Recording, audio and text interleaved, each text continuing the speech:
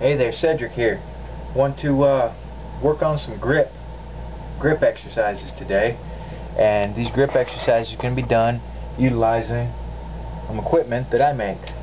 Uh, these are going to be hammer style workouts and we're going to do grip workout that is also going to strengthen the wrist okay because the wrist shouldn't get left behind.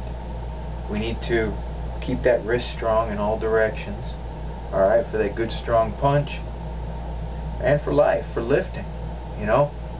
Your hands can be really strong, but if your wrists aren't up, up to par, then, you know, we want everything to be strong. So, we got some, some simple stuff. You know, we've got the, the battle maces, which have your one and a half, two inch uh, steel ball in the end. So you've got that, that good deal of weight. These weigh about two pounds each with most of that weight in the end. So you can do your repetition exercises depending on your level of fitness, you know. And of course, you only need one. You do 10 or whatever, whatever number, and then switch hands and do 10. But I like to, to keep that other hand moving as well, you know, rather than just having it just, just staying there static, unmoving. So you've got a lot of grip workouts, all right, that you can do that are going to benefit your grip and your wrist. Now, when you're holding this, don't let it be a, a loose, sloppy, lazy grip, all right? Take hold of that sucker and really, really clamp down because you're getting an isometric hand workout when you're doing that. The harder you grip, the more muscles are being used in your hand. So, you're getting that that strength and it's a mindfulness of your grip as well. Alright? So, we've got our hammer style workouts, alright? And work your angles, whatever you're going to do, alright? I love, I love, I love these, okay? These are those Indian Club or, or Bell Club workouts. And this is old school, going to build that punch. You run it out and then stop it, and bring it back, all with the strength of that wrist. Again, we're keeping a strong, strong grip, all right? So then, that's something that you can do your repetitions with. Then you've got a, a heavier piece of gear, of course, like the Violator Thug, and you've got a counterbalance back here. This has your three and a quarter inch steel ball and a two and a half inch steel ball or two inch steel ball down here. So if you come back here, of course, you've got a, a two and a half pound weight down at this end, and it's not counterbalanced much. So we're doing this and this is taking it up where it's going to be less repetitions than the other. But it's still what I would consider maybe medium repetitions, alright?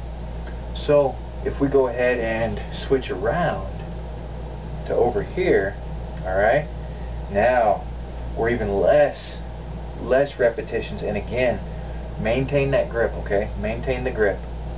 So we do these exercises okay? We've got this. We're working that grip. Now we want to work on our pinch grip okay?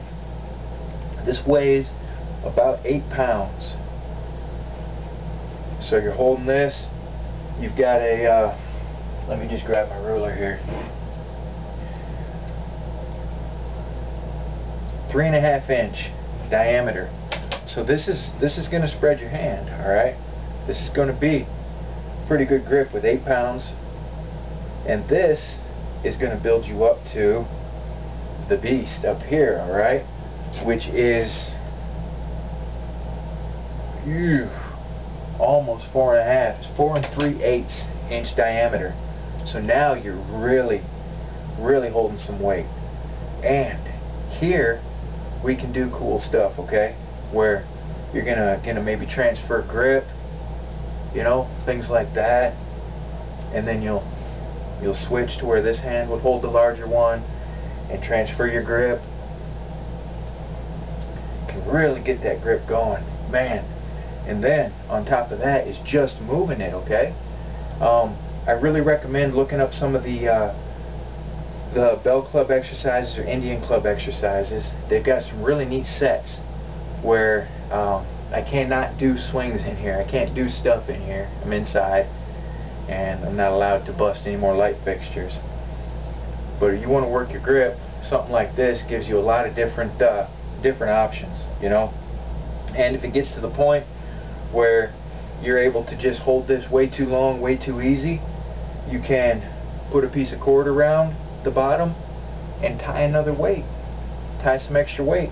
Come back up here and start the whole thing over with the extra weight. And when you can do this, switch it around and boom.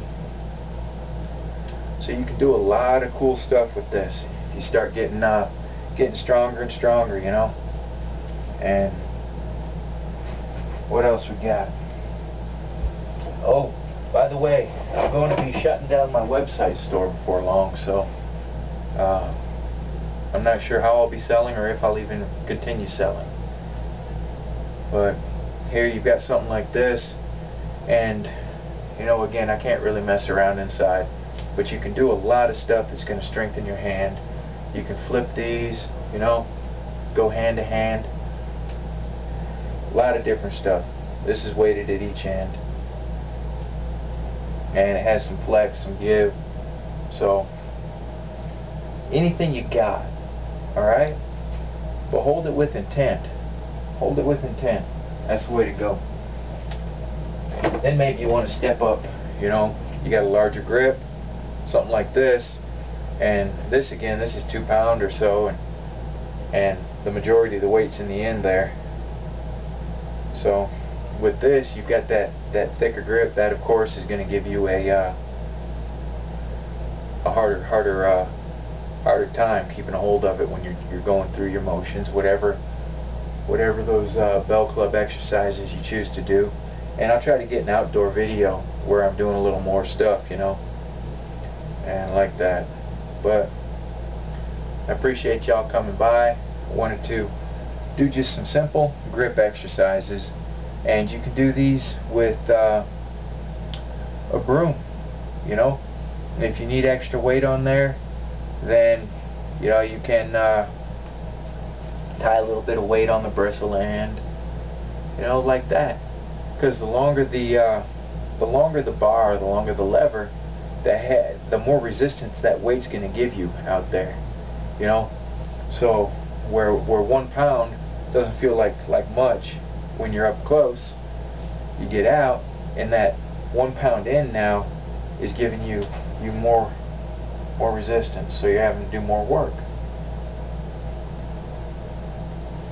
Oh yeah, and one of my my favorite exercises with with your hammer or what have you. Here, we'll do this bad boy. Is just a simple exercise of tossing it back and forth. All right, this works your grip your wrist like crazy.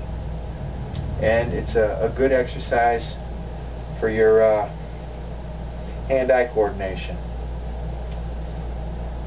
You got this thicker grip like this, and you do these kind of repetitions, and you will find a deep and abiding burn in those forearms, your wrists, your hands. But something with repetitions like this, you can conceivably do this every day with no ill effect because you get that fast muscle recovery from these kind of um, high repetition burnout exercises where you just uh, you're not really tearing the muscles down as much so you don't build the the same kind of strength but you build a deep and abiding endurance that will serve you well in your strength training this helps with that muscle recovery so you've got exercises like that just all kinds of stuff that you can do. Um, that's pretty much it, y'all. I just wanted to bring you by and do a little bit of non-standard grip work, alright? So I appreciate you coming by. Look around you.